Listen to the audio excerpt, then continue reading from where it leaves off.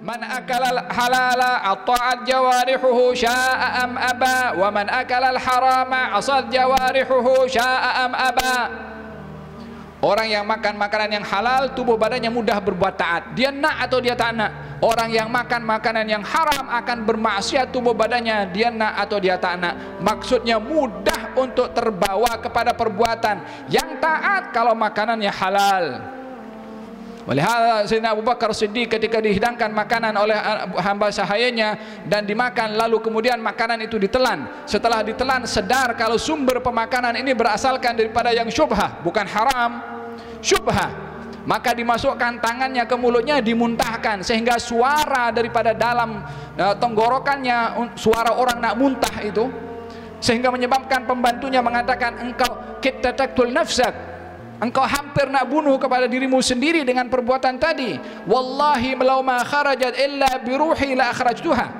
Gal demi Allah kalau tidak keluar makanan yang saya makan tadi kecuali dengan nyawa saya aku keluarkan sekali dengan nyawa saya. Tapi untuk bercampur perkara yang syubhah atau yang haram dengan darah daging saya setelah saya mendengar hadis daripada Nabi kullu lahmin nabata min haram fannaru aula bih setiap daging yang tumbuh daripada makanan yang haram maka dia layak untuk dihukum di neraka. Aku tak layak aku tak mampu untuk dihukum neraka. Dikeluarkan juga tidak mahu ada daging yang tumbuh daripada sumber yang haram. Faham tom? Ini diletakkan oleh Allah Subhanahu wa taala tentang perangai orang yang jahat. Salah satu penyebabnya adalah makanan yang haram. Akaluna lisuhdi. Ini bukan makan yang haram saja, akal. Kalau orang itu akul atau akil, akil orang makan. Tapi akul atau akal orang yang kerjanya memang banyak untuk makan. As-suhd haram, yakni memang kerjanya adalah cari makanan yang haram bukan tergelincir tidak sengaja kepada perkara yang haram.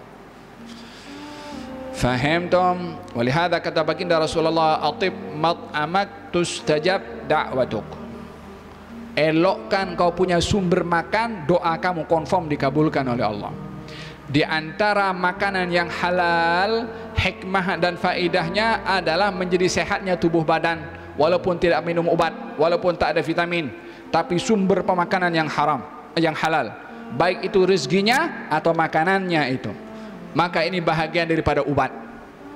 Kepada tubuh badan. Sebab ada kaitan antara pemakanan dengan uh, tenaga yang keluar daripada hasil pemakanan. Oleh hadha Nabi bersabda tentang orang yang dia berdoa kepada Allah subhanahu wa ta'ala Ya Allah, Ya Allah tapi tak diterima oleh Allah subhanahu wa ta'ala doanya. Apa sebab? Wa, uh, uh, apa namanya? Uh, yaqulu ya rab ya rab wa mat'amuhu haram wa mashrabuhu haram wa ghudhiya bil haram fa anna yustajabu lah makannya haram minumnya haram masuk ke perutnya haram bagai pakaiannya pun haram. Macam mana akan diterima oleh Allah?